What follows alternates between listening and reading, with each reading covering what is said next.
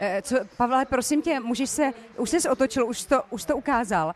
Eh, Řek, řekni mi, co tohle je, co to máš, protože to není black tie, že jo, to není velká večer. Televize Nova přemýšlela, co se mnou. Když to co mám předávat, já jsem tam rozvedl půlku té první řady svojí prací, takže prostě udělali opatření, abych nemohl exibovat. No, abych nemohl být zlý, drzý, abych nemohl mít blbý keci. Oni tě prostě eh, dali, takhle tě eh, svázali a... eh, Ne, ne, já to nechci vidět komplet, já to uvidím za chvilinku a diváci televize Nova to uvidí v přímém přenosu televize Nova.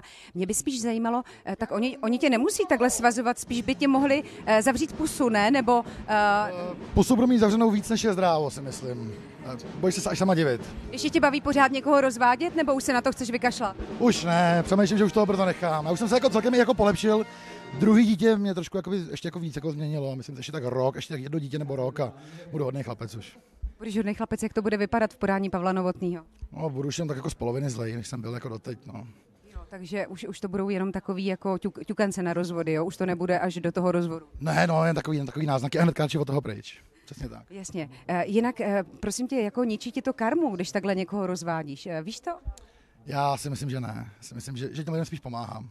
Jsi strašně tvrdošínej, ale opravdu. Já myslím, že eh, by se nad sebou měl zamyslet. Eh, Cože? Že ti to strašně sluší. Děkuju.